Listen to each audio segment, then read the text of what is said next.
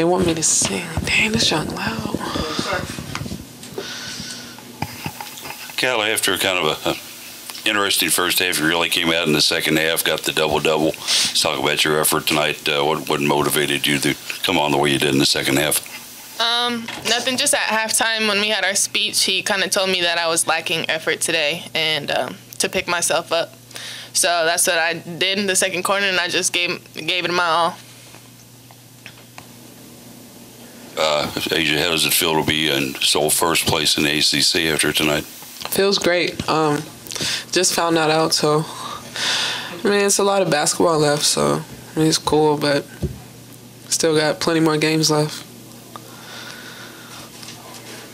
What was working, um, Asia, for you especially? You know, you scored the first ten points um, uh, for Louisville. What was working for you uh, in particular, and then team-wise as well to get go up eighteen to four against a quality opponent like Syracuse?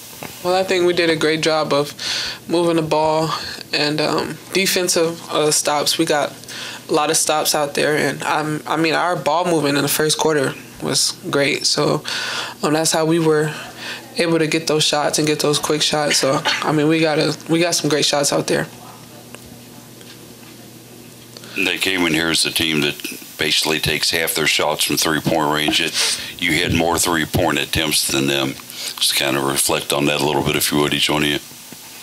I mean, it's just our hard work paying off. You know, a lot of our players are staying in the gym, working on that three ball, and so it's it's paying off. And you know, as we go out this go out go throughout this conference play, I mean, there are going to be a lot of teams playing us zone, trying to force us to sh- shoot that three. So I mean, our players are sh- shooting the ball well, so it's pretty good. To add on to what Asia said on the defensive end, I think that was just a scouting report that they are such good three-point shooters to get up on them early. In that first half, um, seven, um, it was a pretty balanced attack. I think there were seven players with at least six points each you know, there were crisp passes, uh, even out rebounding Syracuse and getting more offensive rebounds than they than they got defensive rebounds, despite you guys shooting 50%. Was that about as good a half as as you all have played this season? Uh, I mean, I can't really dictate that right now. I mean, I really don't know, but I mean, it was great basketball out there. Um, the first half was great. You know, I think we played overall a great game. So um, we just got to continue to build off this game. Coach Walz has been commenting that you all need to pass the ball a lot more effectively, and you doubled the number of assists tonight that mm-hmm. Syracuse had. So obviously that's working. Just talk about some of the things you saw, Asia, in, in, in creating assists and passing the ball. Well, you I mean, it goes back to how quickly we moved the ball throughout the game. Um, we found each other on the court and uh, we knocked down some great shots. Um, so I mean that's all we have to do. There are going to be a lot of teams or playing zone and things like that. So we have to just move the ball faster.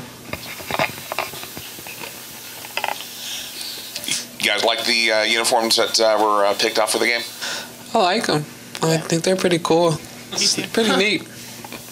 I like the little uh, the yeah the black zip up shirt. That was pretty cool. Put your hood on like you're a boxer. Like I'm Floyd. That's my guy.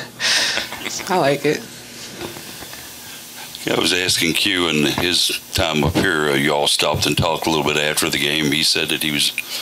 Told, you told him that he was bragging. You didn't put up 50 on him.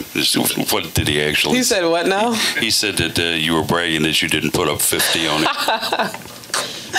no, that's my guy. He's great people. He's a great coach, man. And um, Q, he's he's a great guy. So I'm really impressed with how he always keeps his team up and he gets the best out of them. I mean, he has some great guards. He has a great team too. So I'm just re- really impressed with him. Coach also talks a little bit about the three-game sequence that started tonight. How important that is to it with the with Miami winning tonight. Just how how important is this for you all as you go into it?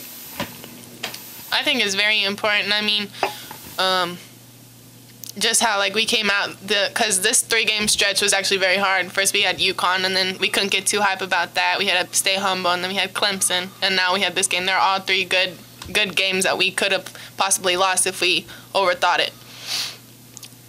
Yeah, I mean this whole conference is a great it's a great league where um, anybody can lose on any night. So as you see with Notre Dame's uh, game, so I mean, we, there's some great teams in our league, and it's fun. It's fun to play. It's fun to play against great teams who could really, really, really play. So each game, you can't take them for for granted. So you just gotta come out and play hard and play strong.